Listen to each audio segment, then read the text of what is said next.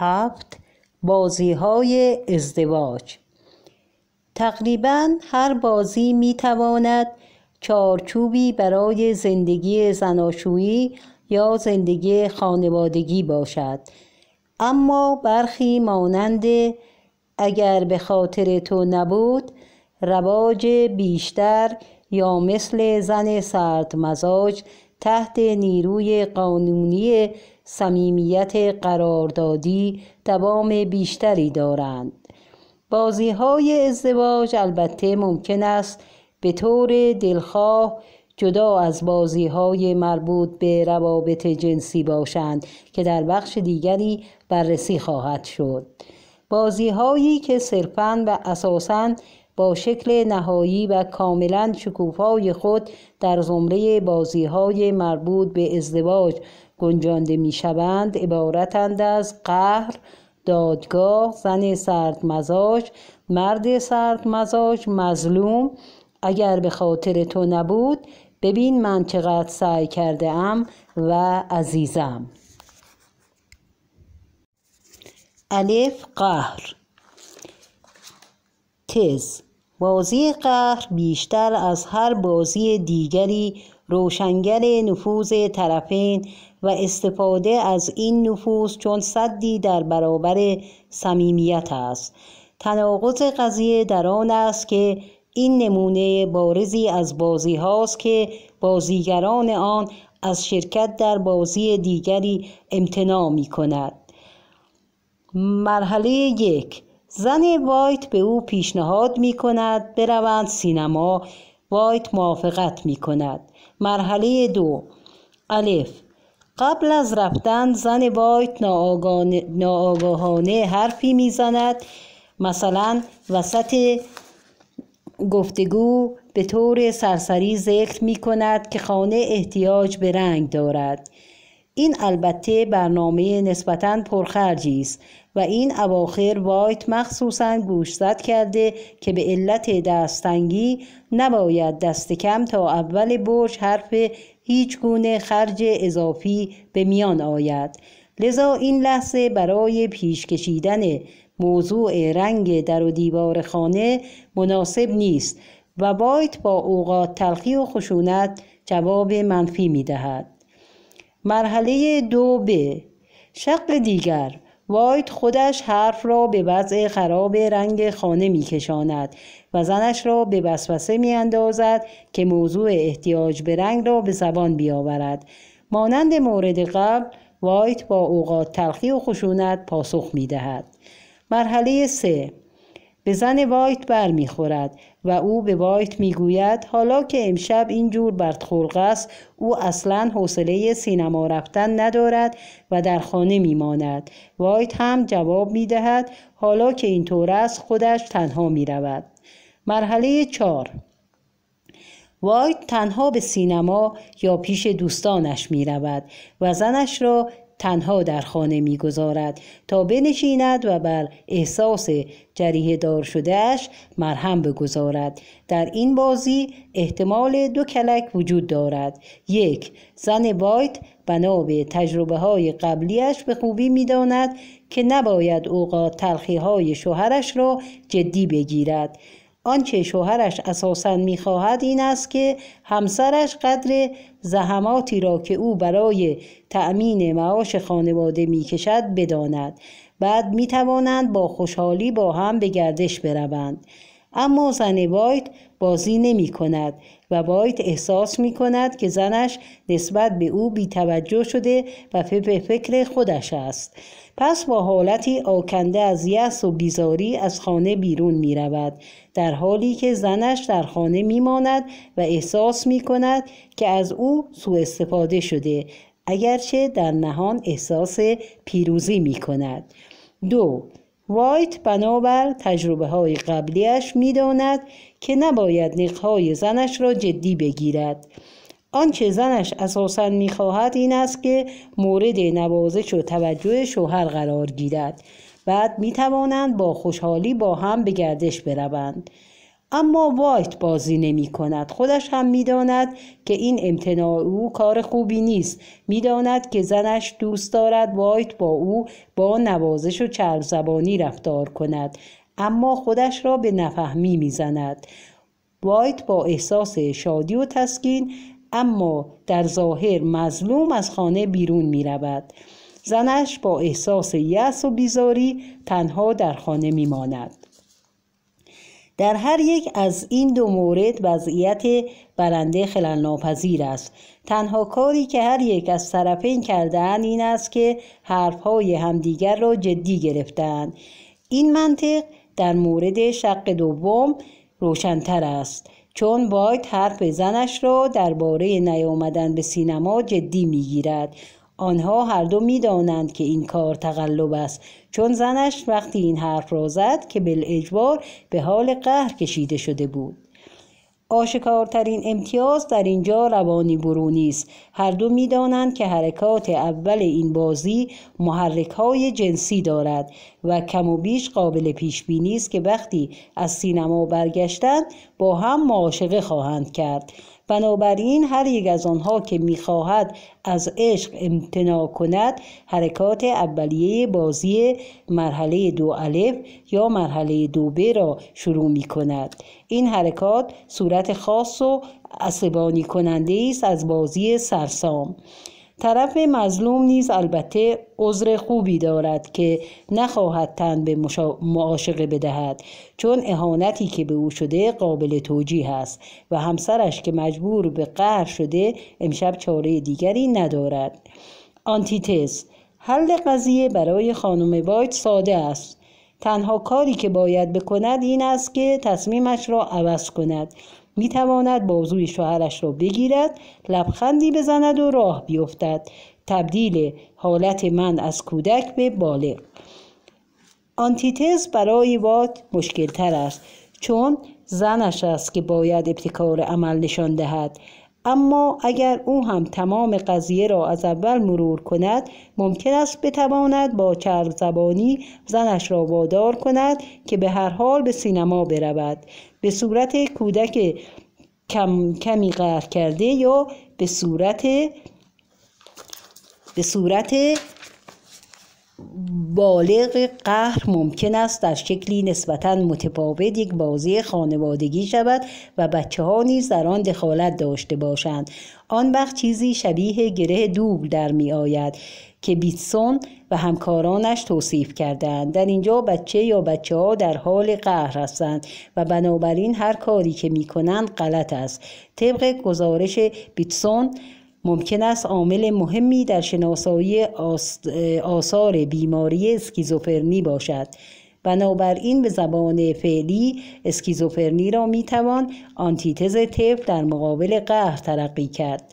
تجربیات ما در معالجه بزرگسالان مبتلا به اسکیزوفرنی به وسیله تحلیل بازی ها این فرضیه را رد نمی کند بدین معنی که تحلیل بازی خانوادگی قهر نشان داده است که رفتار بیمار مبتلا به اسکیزوفرنی بر اساس مقابله با این بازی پیریزی می شود یکی از شکل‌های روزمره بازی قهر که تمام اعضای خانواده اجرا می کنند و احتمالا در شخصیت و طرز رفتار بچه ها تأثیر فراوان دارد با دخالت های بیجای والد والدین تزریق می شود از پسر کوچک یا دختر کوچک می خواهند که در خانه کار کند اما وقتی او خدمتی انجام می دهد از کارش ایراد می گیرند که نمونه از بدبختی چه بکنم چه نکنم توی سرم می‌زنند این گره دوغ را می‌توان قهر از نوع مشکل نامید.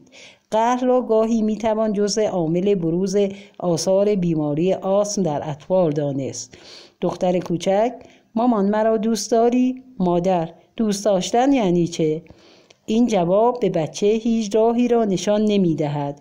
او می‌خواهد درباره مادر و درباره محبت مادری حرف بزند. اما مادر بحث را به فلسفه میکشاند که بچه ظرفیت فهم و بحث آن را ندارد. بچه نفسش تون می شود این مادر را عصبانی می کند آسم شدیدتر می شود مادر از او معذرت می خواهد و حالا بازی آسم کامل می شود نوع آسم در بازی قهر باید در آینده مورد مطالعه بیشتری قرار گیرد. یک صورت زریفانه تر که می توان آن را نوع راسل وایت هد بازی قهر نامید اغلب در گروه های رواندرمانی اتفاق می افتد. بلک خب به هر حال وقتی همه ساکتند هیچکس بازی در نمی آورد وایت سکوت خودش ممکن است یک بازی باشد. رد هیچکس امروز بازی در نیاورد. وایت بازی در نیاوردن هم ممکن است یک بازی باشد. آنتیتز درمانی این صورت نیست به همان اندازه ظریفانه است. تناقضگویی های منطقی ممنوع وقتی وایت از این ترفند محروم گردد دلهوره های پنهانیش به سرعت رو می شود صورت دیگری از بازی های ازدواج که از یک طرف شبیه نخنما و از طرف دیگر شبیه قهر است بازی خاصی است که بسته نهار نام دارد. شوهر که استطاعتش را هم دارد نهار را در یک رستوران خوب بخورد هر روز صبح چند ساندویچ یا چیزهای دیگر در یک بسته یا در کیفش می‌گذارد و به سر کار می‌برد. برای این کار او از نان بیاد یا غذاهای شب مانده و کیسه های نالیون کهنه که زنش برای او نگه میدارد استفاده می کند. این عمل او اختیار کامل پول و خرج خانه را در دست او قرار می دهد زیرا با این نحوه پداکاری کدام زنی جرأت می کند برای خودش مثلا یک پالتوی پوست بخرد او با این کارش امتیازهای متعدد دیگری را هم به نفع خود رقم می‌زند. مثلا امتیاز تنها غذا خوردن و انجام دادن کارهای خصوصیش در ساعت نهار. از بعضی جهات بازی سازنده است که بیشک ممکن بود مورد تایید بنجامین فرانکل قرار گیرد. چون او عناصر صرفه‌جویی و کار و وقت شناسی را تقوا می شمرد.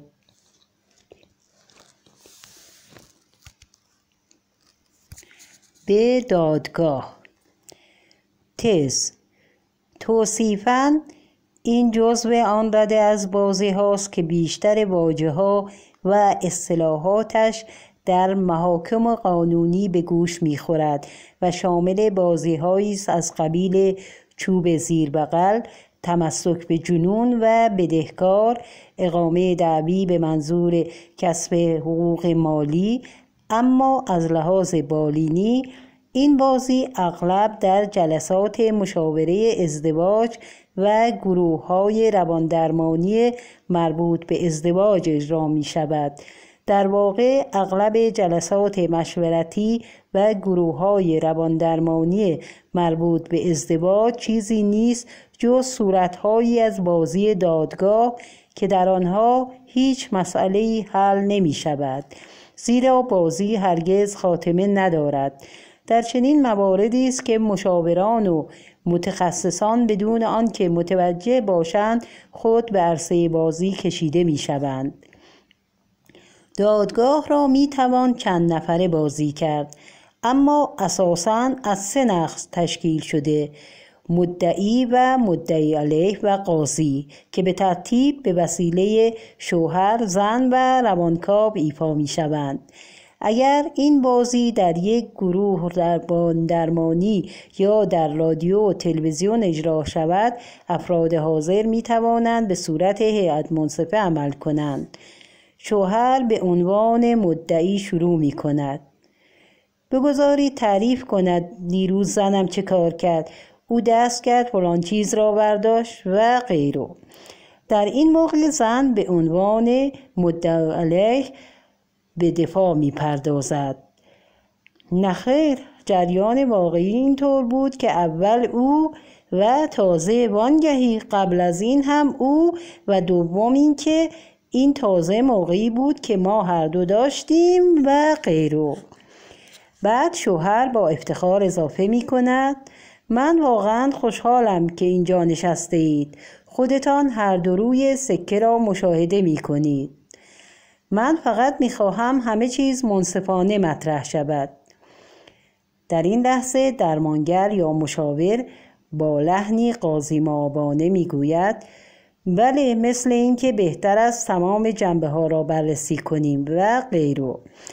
و چنانچه واقعا حضاری وجود داشته باشند روانکاو در اینجا موضوع را با آنها مطرح می کند خب بگذارید ببینم دیگران چه نظراتی دارند یا چنانچه این گروه آموزش کافی دیده باشند بدون آنکه دستوری به ایشان داده شود خود نقش هیئت منصفه را بازی خواهد کرد.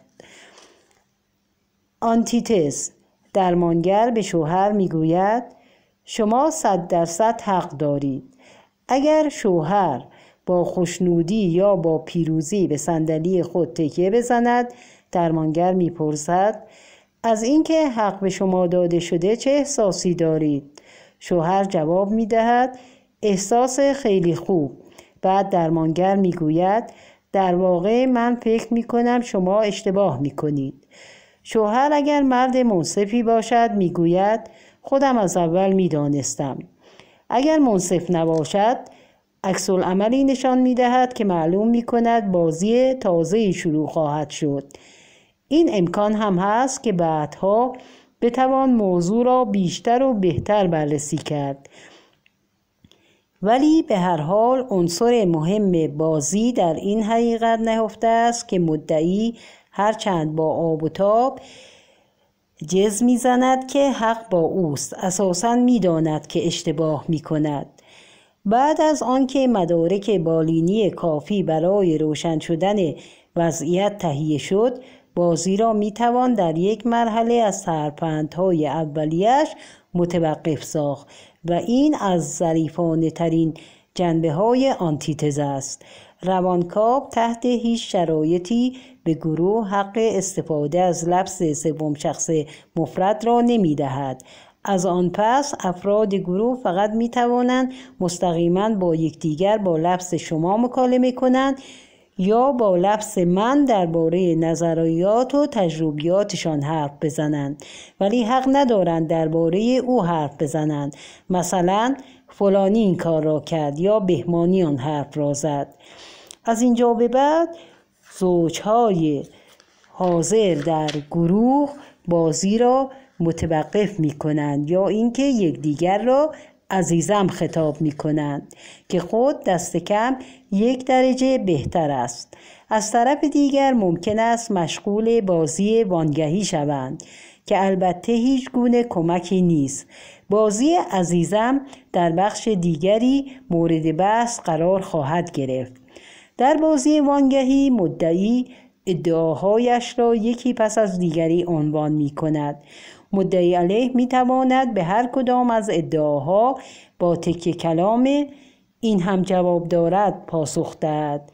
مدعی به هیچ کدام از پاسخها اهمیت نمی دهد اما به محض اینکه مدعی علیه مکس کند او با یک وانگهی شکایت بعدی را عنوان می کند که آن هم به نوبه خود با یک جواب دارد روبرو می شود که نمونه ابدی مبادله والد کودک است. بازی وانگهی اغلب شدیداً به وسیله مدعی های بدگمان بازی می شود. برای اشخاص مبتلا به این بیماری روانی به علت راه بودنشان بسیار آسان است که مدعیان خود را هرچه هم لحن شوخ و غیر مستقیم داشته باشند عصبانی و عقیم سازند. به طور کلی روش غیر مستقیم استعاری از آشکارترین دامهایی است که در بازی وانگهی باید از آن دوری کرد. بازی دادگاه را در شکل روزمرهش می‌توان به آسانی بین بچه ها مشاهده کرد. این نوع سه نفره آن است. بین دو بچه و یکی از والدین. مامان او شکلات مرا برداشت. آره اول او عروسک مرا برداشت و قبلم مرا کتک زد و تازه وانگهی ما قرار بود شکلات هایمان را با هم نصف کنیم. تحلیل تز باید اقرار کنند که حق با من است. هدف حصول اطمینان. نقش ها مدعی مدعی علیه قاضی و یا هیئت منصفه. پویایی شناسی رقابت های هممنشأ مثال ها یک بچه ها مرافعه می کنند والدین بساتد دو. زن و شوهر کمک می خواهند نمره عالی اجتماعی بالغ بالغ. بالغ این کاری است که او با من کرد. بالغ اما واقعیتش از این قرار است. نمونه عالی روانی کودک والد. والد او حق دارد. هر دو حق دارید. حرکات یک شکایت ارائه می شود دفاع ارائه می شود. دو مدعی تکذیب می کند یا تسلیم می شود یا حسن نیت نشان می دهد. سه تصمیم نهایی قاضی یا هیئت منصفه. چهار حکم نهایی ارائه می شود. امتیازات یک روانی درونی منعکس ساختن گناه. دو روانی برونی بخشوده شدن گناه. سه اجتماعی درونی. عزیزم وانگهی سرسام و بازی های دیگر. چهار اجتماعی برونی دادگاه. پنج زیستی نوازش از قاضی و هیئت منصفه. شش وجودی تحکیم وضعیت افسردگی. من همیشه اشتباه می کنم ج زن سرد مزاج تز این تقریبا همیشه یک بازی ازدواج است چون امکانات اجرای آن در خارج از حیطه ازدواج رسمی غیرقابل تصور است. شوهر می‌خواهد با زنش معاشقه کند ولی با سردی ترد می شود پس از چند بار تراش و تکرار زن می‌گوید تمام مردها حیوانند. تو اصلا مرا دوست نداری. به خاطر آنچه خودم هستم دوستم نداری. تنها چیزی که می‌خواهی رابطه جنسی است. مرد مدتی منصرف می شود بعد باز هم سعی می کند ولی باز بی نتیجه است. بالاخره او هم عقب می کشد و دیگر سعی نمی کند پس از چند هفته یا چند ماه زن به طور فضایندهی رفتارهای خودمانی و حتی فراموشکارانه از خود بروز می دهد. از اتاق خواب نیمه برهنه جلوی او راه می رود و گاهی فراموش می کند حوله تمیز در حمام بگذارد و وقتی در حمام است از شوهرش خواهش می کند برایش حوله بیاورد. پس از مدتی شوهر به این تحریکات پاسخ می دهد و با سعی خودش را می کند بار دیگر با سردی ترد می شود که در نتیجه بازی سرسام شروع می شود و در آن حرف از رفتار اخیر هر کدامشان کارهای دوستانشان کارهای خانواده هایشان و بالاخره موضوع پول به میان کشیده می شود و در آخر هم به, به هم کوبیدن در خاتمه پیدا می کند این دفعه شوهر تصمیمش را می‌گیرد و به خود می‌گوید باید نوعی زندگی بدون ارتباط جنسی و جدا از همسرش را انتخاب کند. باز مدتی میگذرد شوهر قدم زدنهای زنش را با لباس خواب وسط اتاق خواب یا ترفندهای فراموش کردن حوله حمام را نادیده می‌گیرد. تحریکات زن خودمانیتر و بیشتر می شود اما شوهر هنوز خودداری می کند بعد یک شب زن ناگهان شوهرش را در آغوش می گیرد و می بوسد شوهر اول پاسخی نمی دهد و تصمیمی را که گرفته است از یاد نمی برد اما به زودی اقتضای طبیعت احساسهای خفته او را پس از دوران طولانی گرسنگی تحریک می کند و اکنون مطمئن است که این بار پیروزی با اوست. وقتی در بسترند اولین پیشتاوری های او پس زده نمی شود و او جسورتر می شود ولی در لحظه بحرانی زن خودش را عقب می کشد و می گوید نگفتم تمام مردها حیوانند. تنها چیزی که من می‌خواستم محبت بود و تنها چیزی که تو می‌خواهی رابطه جنسی است. بازی سرسام که متقاعب این صحنه می آید دیگر پیش آمد حرفها و رفتارهای اخیر آنها و چیزهای دیگر نیست. یک راست وارد مشاجرات مربوط به پول می شود باید توجه داشت که شوهر نیز به رغم اعتراضاتش در این بازی به اندازه زنش از صمیمیت جنسی واهمه دارد. در واقع او خود با دقت چنین همسری را انتخاب کرده و با او زندگی می کند تا ناتوانی جنسی خودش را پنهان سازد و اکنون می تواند گناه را به گردن زنش بیاندازد این بازی را در شکل روزمرهش ممکن است زنهای بیشوهر هم در تمام سنین بازی کنند. البته در مورد آنها بازی به زودی لقب ننگین تجاوز را به خود می‌گیرد. آنتیتز این بازی خطرناک است و آنتیتز های احتمالی آن نیز اغلب به همان نسبت خطرناکند. در این مواقع معشوق گرفتن نوعی قمار است. اگرچه در صورت چنین تحریک رقابت آمیزی بعید نیست که زن بخواهد بازی را کنار بگذارد و به زندگی عادی زناشویی تن در دهد. اما گاهی ممکن است خیلی دیر باشد. از طرف دیگر او ممکن است این قضیه بیوفایی شوهر را مستمسک قرار دهد و به صلاح وکیل گرفتن علیه شوهرش متوسل شود. و بازی حالا گیرد آوردن را شروع کند. اگر شوهر به جای معشوقه گرفتن پیش دکتر روانکاو برود و زنش نرود عاقبت کار باز به همان نحو غیرقابل پیش بینی است اگر در این اگر در اثر این کمک درمانی مرد روحیه قویتر و سلامت فکری بیشتری پیدا کرد طرح بازی زن ممکن است متلاشی شود. ولی اگر او بازیگر سختگوشی باشد ممکن است کارشان به طلاق بکشد. بهترین راه حل در صورت امکان احتمالا این است که هر دو به گروه های تبادل زناشویی ملحق شوند. جایی که امتیازات باطنی این گونه بازی ها و اصول اختلالات جنسی اوریان و آشکار مورد بررسی قرار می گیرد. پس از این مقدمات زن و شوهر هر دو ممکن است یک رشته روانکاوی شخصی علاقمند گردند و این خود احتمالاً به ازدواج روانی مجدد آنها منجر شود اگر هم نشد نهایتا هر کدام از طرفین با تطابق محسوستری به وضع خود خواهد نگریست که در غیر این صورت امکان پذیر نمی بود. عاقلانه ترین راه حل در شکل روزمره این بازی یافتن یک مصاحب اجتماعی دیگر است.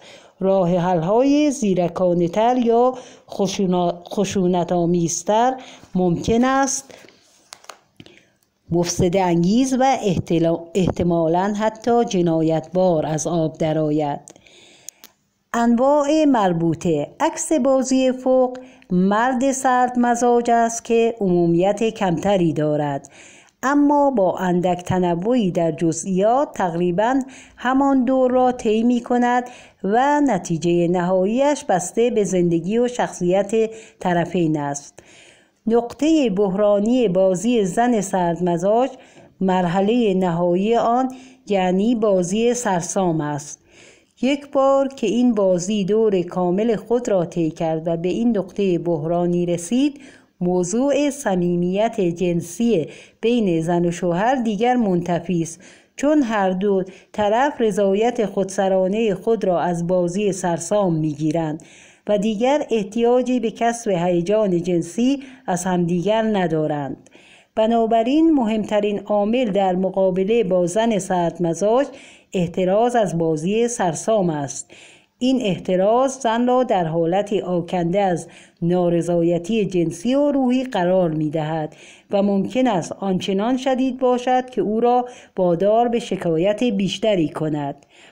استفاده از سرسام بازی زن سرد مزاج را از بازی دیگری به نام بابا مرا بزن متمایز می سازد چون در بازی اخیر سرسام نوعی مقدمه است حال آنکه در زن سرد مزاج سرسام جانشین عمل جنسی می شود بنابراین در بابا مرا بزن سرسام شرطی از عمل جنسی و نوعی از بتپرستی است که هیجان را افزایش می دهد در صورتی که در زن سرد مزاج یک بار که سرسام شروع شد داستان به پایان می رسد نوع اولیه زن سرد مزاج در رمان آرزوهای بزرگ نوشته چارلز دیکنز به وسیله دخترک پر افاده استلا بازی می شود او با لباس آهار زده و اتو شدهش بیرون می آید و از پسرک پیپ می خواهد.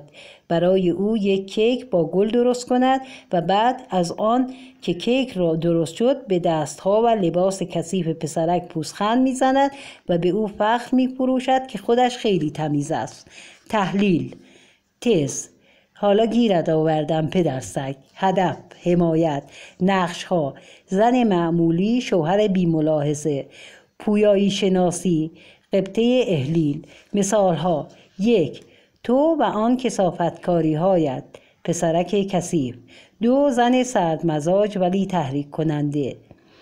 نمونه عالی اجتماعی والد کودک والد فقط بهت اجازه می دهم برام یک کیک از گل درست کنی. فقط مرا ببوسی. کودک دوست دارم باشد. والد حالا ببین چقدر کثیفی. نمونه عالی روانی کودک والد. کودک اگر توانستی گولم بزن. والد باشد سعیم را می کند به شرط اینکه جلویم را بگیری. کودک ببین تو بودی که شروع کردی. حرکات یک سعی در فریفتن پاسخ مثبت. دو طرح نمودن عقب کشیدن. سه تحریک پاسخ مثبت. چهار طرد نمودن سرسام. امتیازات یک روانی درونی آزادی از گناه و اشتیاق به رویاهای آزاردهنده جنسی. دو روانی برونی.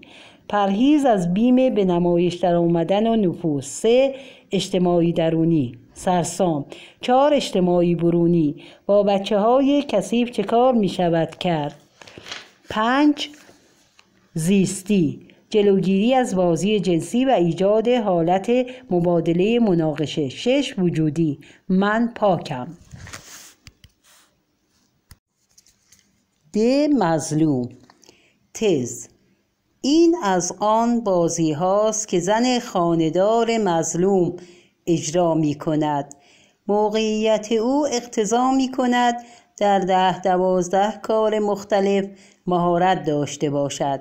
یا به عبارت دیگر باید ده دوازده نقش مختلف را ایفا کند. معشوقه مادر پرستار مربی معمور خرید نظافتچی خدمتکار آشپز و غیره. از آنجا که این کارها اغلب ضد و نقیز و ضمنا خسته کننده اند انجام دادن آنها هر روز و هر شب طی سالها شرایطی در زن به وجود می آورد که در محافل روانشناسی به طور نمادین به زانوی کدبانو معروف است چون زانو برای خیلی از کارها به کار می رود از قبیل بچه خواباندن زمین شستن و نظایر آن که بالاخره علائمش احتمالا با این اعتراض که خستم ابراز می شود حال اگر کدبانو بتواند از عهده تمام این کارها براید و از محبت شوهر و بچه هایش هم به اندازه کافی بهرهمند شود ممکن است نه تنها قادر باشد 25 سال اول زندگی را بگذراند بلکه می‌تواند از آن لذت هم ببرد و بعد از آنکه بچه ها از آب و گل در آمدند و به دانشگاه یا سر زندگی هایشان رفتند درد ناگهانی تنهایی را تجربه کند. اما اگر از یک طرف به خاطر نداهای والد درونی خودش و از طرف دیگر به علت محرومیت از عشق خانوادهش نتوانست از عهده برایت بیشک روز به روز از خوشحالیش کاسته می شود اول ممکن است مدتی خودش را با بازیهایی از قبیل اگر به خاطر تو نبود و عیب مشغول کند و راستش هر زن خاندار این حق را یا دست کم این امکان را دارد که وقتی اوضاع سخت شد به این بازی ها پناه ببرد.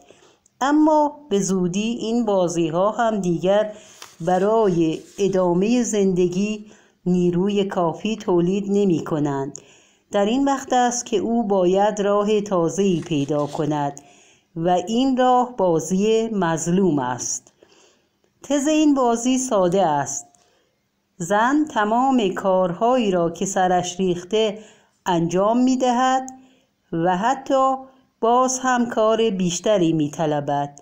با تمام خردگیری های شوهرش کنار می آید و تقاضاهای بچه ها را هم با خوشرویی برآورده می سازد.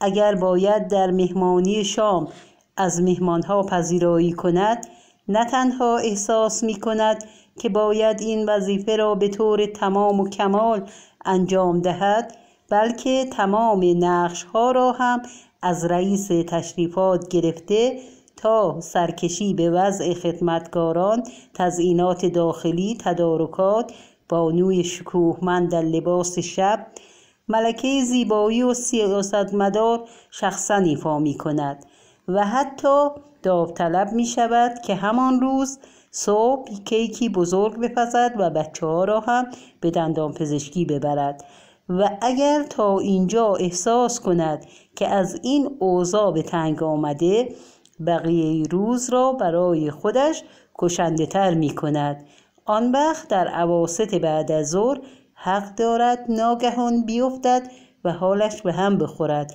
و هیچ کاری انجام نشود آبروی شوهر و بچه هایش پیش مهمان ها می رود و سرکوفت درونی خودش هم نمکی بر زخم روحش خواهد بود و بعد از آنکه این کار چند مرتبه تکرار شد ازدواجش به خطر می افتد. بچه هایش گیج می شوند و خودش تکیده و لاغر موهایش آرایش نشده صورتش واخورده و بیرنگ و رو و کفشهایش مندرس می شود بعد سر و کلش در مطب دکتر یا روانپزشک پیدا می شود و آماده بستری شدن می گردد. آنتیتز حل منطقی قضیه ساده است. خانم بایت می تواند نقش های خود را طی هفته برنامه ریزی کند. اما باید از ایفای دو یا چند نقش همزمان اجتناب ورزد. وقتی میهمانی می‌دهد یا باید پذیرایی کند یا توی آشپزخانه باشد اما نه هر دو. اگر به طور کلی از پدیده زانوی کدبانو رنج می‌برد می‌تواند به این طریق خودش را محدود کند. اما اگر زن در واقع ذاتا سرگرم بازی مظلوم باشد مشکل می‌توان او را متقاعد ساخت که به راه حل فوق رضایت بدهد. در این مورد نقش شوهر هم که با دقت انتخاب شده مهم است و در اصل مرد خوبی است و از زنش فقط مواقعی خوردگیری می کند که به اندازه کافی لیاقت به خرج نداده باشد.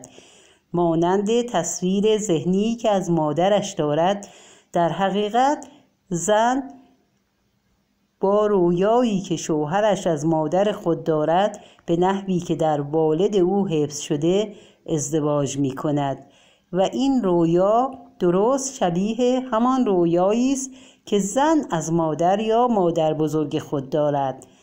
اکنون که زن شریک خوبی پیدا کرده است کودک درونش می تواند این نقش نگران و ترسان را برای حفظ تعادل روانی خود تحمل نماید و لذا حاضر نیست آن را به آسانی رها کند.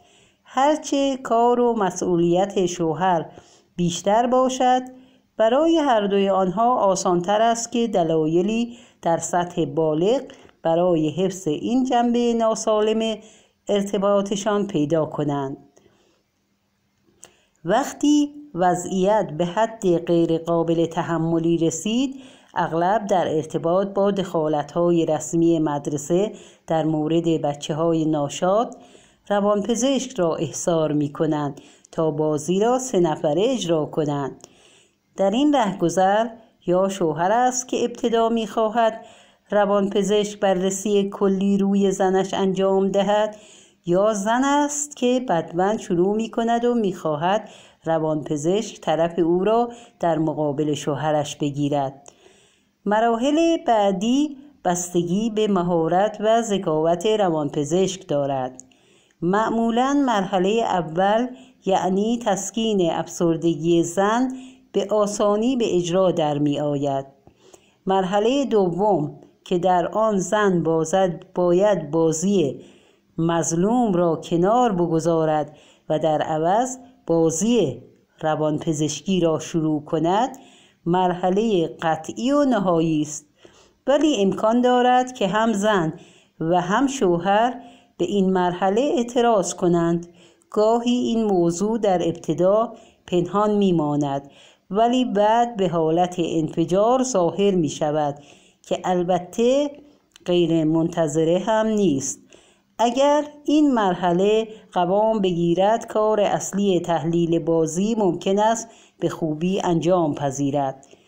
لازم است این نکته محرز شود که مقصر اصلی در اینجا والد زن است که ممکن است مادرش یا مادر بزرگش باشد.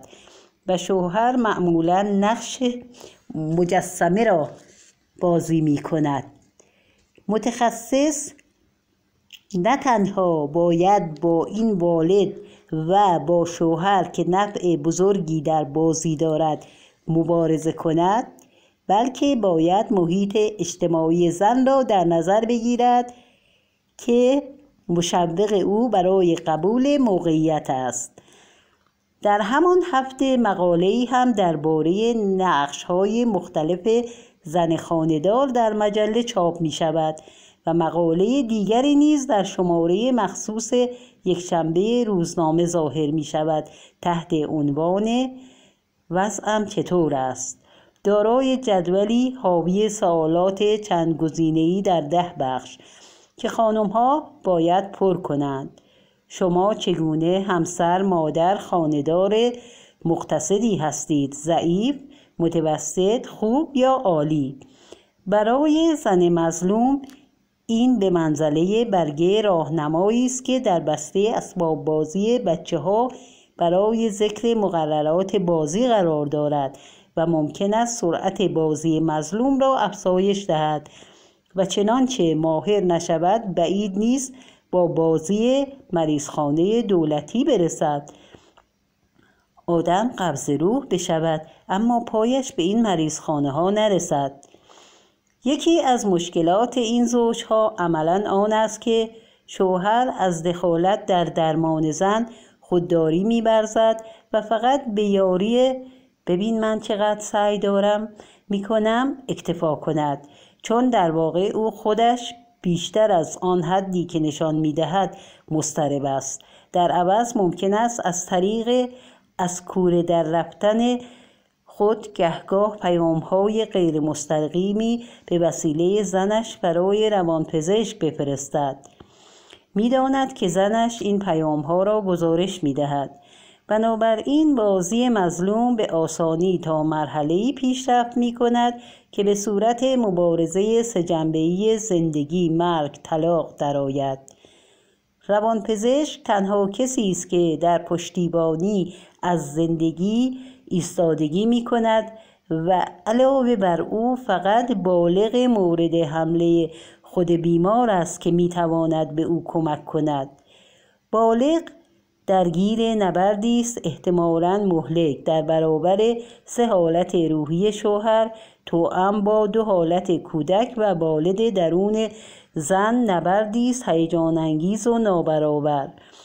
با احتمال پیروزی دو به پنج که ضمنا معیار سنجش روانپزشک ماهر عالی نیز به شمار می آید اگر او شانه خالی کند می تواند راه آسانتر را انتخاب کند. و زن را به محضر طلاق سوق دهد. یعنی بگوید من تسلیم. یالا تو او با هم دعوا کنید. ه اگر به خاطر تو نبود تز جزئیات تحلیل این بازی در فصل پنج آمده است. از لحاظ تقدم و تأخر زمانی این بازی پس از بازی چرا فلان کار را نمی کنی؟ آره اما مورد توجه قرار گرفت و قبل از آن فقط پدیده جالب محسوب می شد. با کشف بازی اگر به خاطر تو نبود معلوم شد سلسله اعمال اجتماعی در کارند که از تبادلهای قایی ریشه می‌گیرند. این خود جستجوهای فعالانه تری را در این مسائل سبب گردید که مجموعه حاضر یکی از نتایج آن است. به طور خلاصه زنی با مردی سلطگر ازدواج می کند که فعالیت های او را محدود می سازد و مانع از آن می شود که وی با موقعیت هایی درگیر شود که از آنها می ترسد اگر به همین سادگی بود احتمال داشت زن به خاطر چنین خدمتی از شوهرش سپاسگزار هم باشد. ولی در بازی اگر به خاطر تو نبود واکنش زن درست عکس این است. او از چنین وضعی بهره برداری می کند و از محدودیت ها شکوه سر می دهد و موجبات نگرانی شوهرش را فراهم می آورد تا امتیازات بیشتری کسب کند. این امتیاز اجتماعی درونی این بازی است. امتیاز اجتماعی برونی که از آن حاصل می شود وقت گذرانی اگر به خاطر او نبود است که زن با زنهایی که از دوستان نزدیکش هستند اجرا می کند و ببین من چقدر سعی کرده ام تز. این بازی در شکل رایج بالینیش سه نفره اجرا می شود زن و شوهر و روانپزشک. شوهر معمولا مصمم است زنش را طلاق بدهد. هرچند خود با فریادهای اعتراض آمیز منکر آن باشد. اما زن با صمیمیت بیشتر علاقه به حفظ و ادامه زندگی زناشویی دارد. شوهر با حالتی اعتراضآمیز همراه زن نزد درمانگر می رود و فقط آن اندازه حرف می‌زند که به زنش نشان دهد قصد همکاری دارد و معمولا نوع ملایمی از روانپزشکی یا دادگاه را بازی می کند به مرور او در برابر درمانگر به طور فزایندهای حالت شبه تسلیم توأم با آزردگی نشان می دهد یا گستاخانه با زن به مشاجره می پردازد در خانه هم اگرچه در ابتدا تفاهم و خیشتنداری بیشتری نشان می دهد سرانجام رفتارش بدتر از گذشته می شود پس از یک یا پنج یا ده دیدار با درمانگر که بستگی به میزان مهارت درمانگر دارد دیگر شوهر نمی آید و در عوض به ماهیگیری یا شکار می رود. بعد زن مجبور می شود تقاضای طلاق کند. حالا شوهر مثلا هیچ تقصیری ندارد چون زنش است که دست به اقدام زده. حال آنکه او با مراجعه به درمانگر توانسته حسن نیت خود را به اثبات برساند. و در وضع مناسبی است که به وکیل قاضی دوست یا تمام خیشان بگوید ببینید من چقدر سعی کردم. آنتیتس زن و شوهر با هم نزد روانپزشک می روند اگر معلوم شود فقط یکی از آنها فرزند شوهر به وضوح دست به بازی زده او را به حال خود می‌گذاریم و دیگری را برای رواندرمانی خصوصی میپذیریم. زیرا عوارض نشان می‌دهد که شوهر هنوز برای درمان آمادگی ندارد. در آینده او هنوز می‌تواند زنش را طلاق بدهد. با این تفاوت که مجبور خواهد شد وضعیت علاقمندی و تلاش ظاهریش را در حفظ ازدواج کنار بگذارد. اگر لازم شد زن می تواند خودش مراحل طلاق را شروع کند و وضعیت او نیز بهبود خواهد یافت چون او نیز سعیش را کرده است.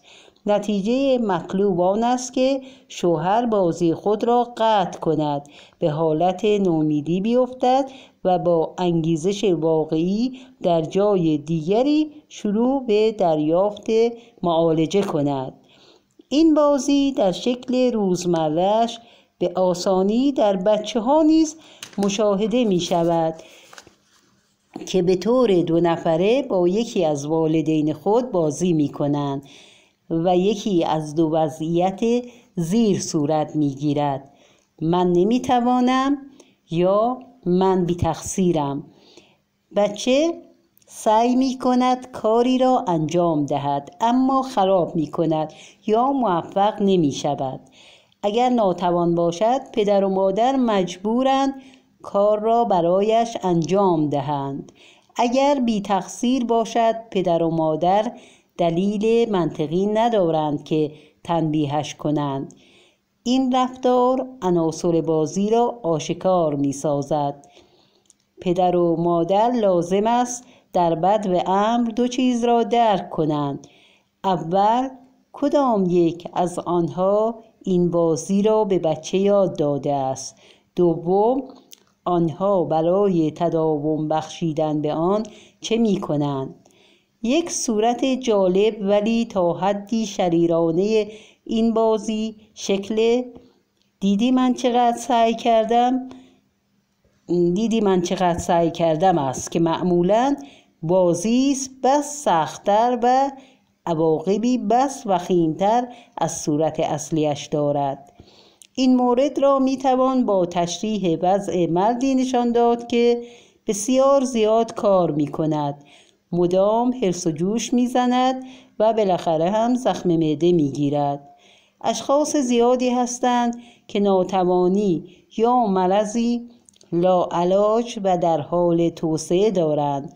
ولی بیشترین سعی خودشان را به کار می‌برند تا با آن بسازند و عدهای از آنها ممکن است عملا از افراد خانواده خود نیز مدد بجویند. گاهی در چنین وضعیتهایی شخص ممکن است به خاطر مقاصدی نهفته از بیماریش بهره برداری کند. این بازی خود درجات مختلف دارد. درجه اول. مردی به زن و دوستانش اعلام می کند که زخم معده دارد. همچنین خاطر نشان می سازد که می خواهد کماکان به کارش ادامه دهد. همه او را تحسین می کنند شاید شخص در این شرایط دردناک حق دارد به جبران رنجی که می کشد تا حدی خودنمایی کند. می توان به او اجازه داد که گاهی از اجرای بازی چوب زیر بغل تفره برود و به خاطر عهدهدار بودن بار سنگین مسئولیت ها می توان او را شایسته پاداش دانست. در این مورد پاسخ معدبانه به ببین من چقدر دارم سعی می کنم چنین است.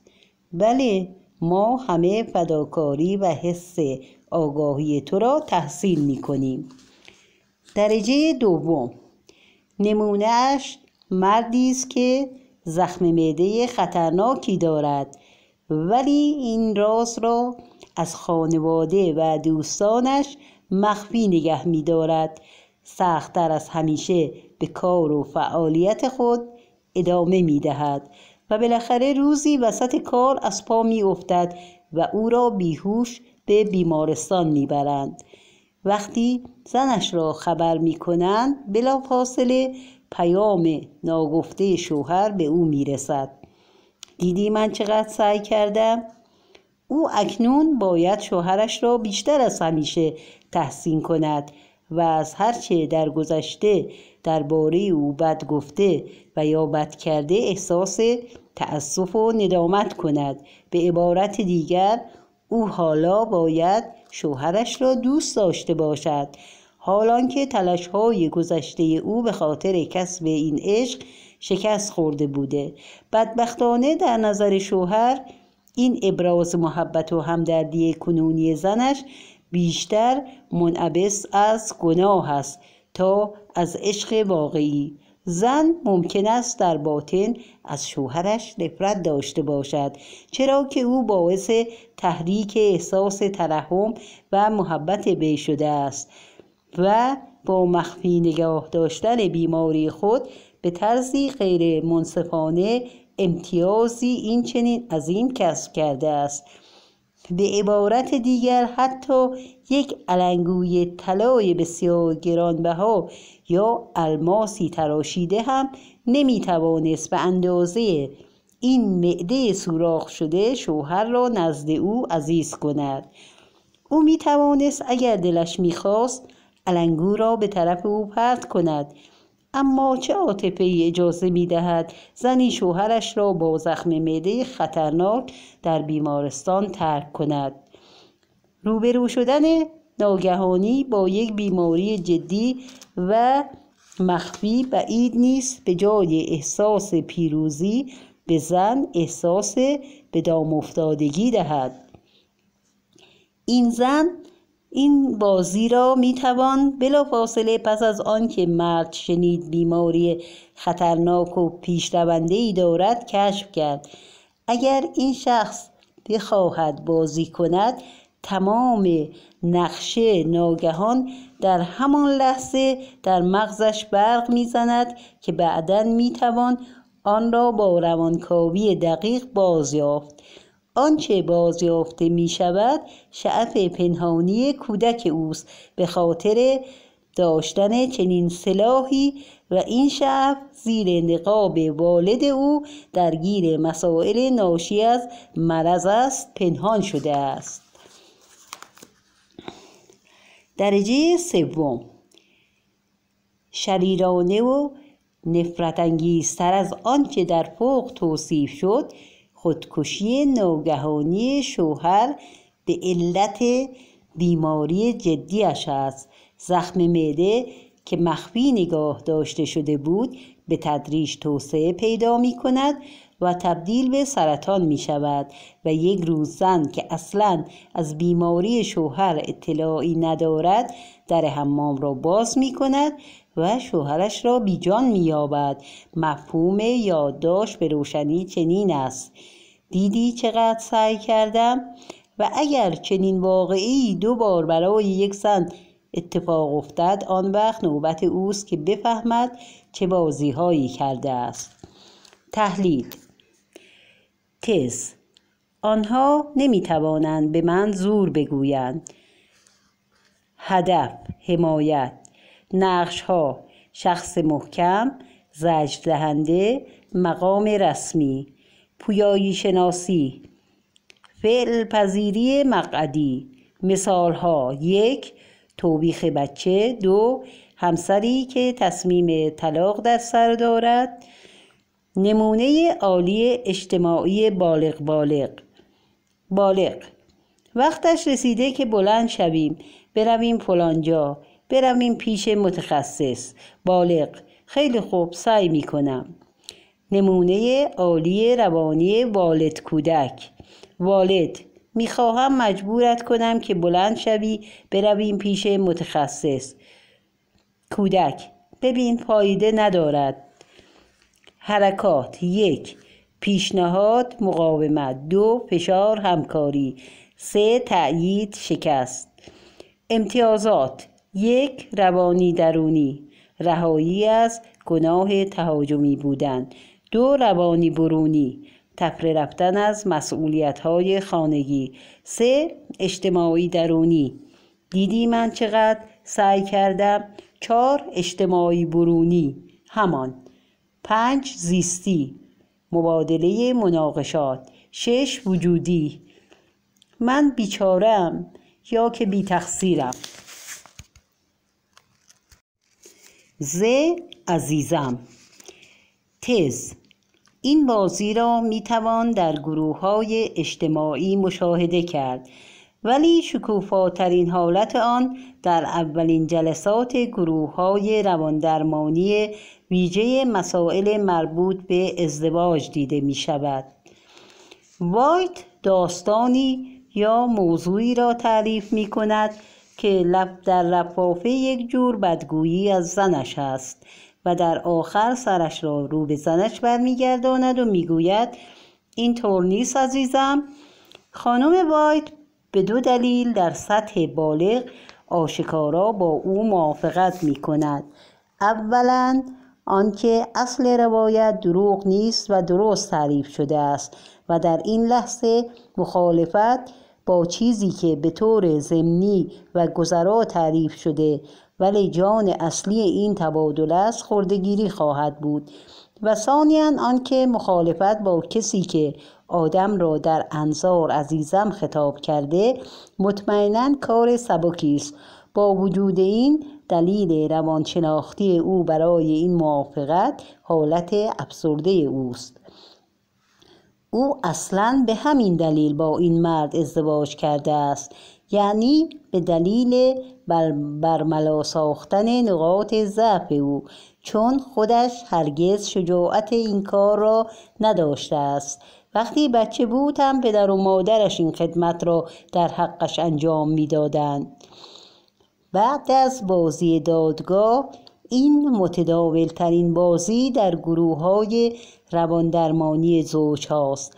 هرچه موقعیت تشنج آمیزتر و بازی به وقوع نزدیکتر شود کلمه عزیزم با لحنی تلختر تلفظ می شود تا بدانجا که شرنگ نفرت باطنی آشکار می گردد با توجه دقیقتر معلوم می شود که این یک نوع بازی شلمیل است زیرا حرکات اصلی در جهتی است که خانم وایت نفرت باطنی شوهرش را مورد بخشودگی قرار می دهد و این نفرت چیزی است که او سعی بسیار کرده از آن آگاهی پیدا نکند.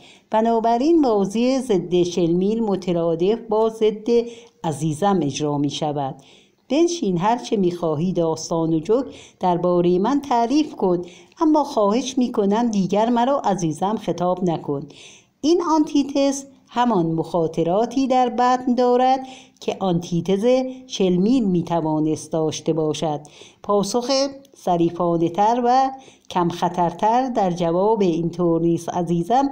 چنین است. بله قربانت بروم. در شکل دیگر این بازی زن به جای موافقت کردن با حرف شوهر خودش روایتی را تعریف کرده به همان اینطور نیست عزیزم ختم می کند و در واقع می گوید تو هم چهره کثیف داری عزیزم. گاهی کلمات عزیزم و قربانت بروم در واقع ذکر نمی شود اما شنونده موشکاف آنها را حتی وقتی به زبان نمی آید می شنود این شکل سامت بازی عزیزم است.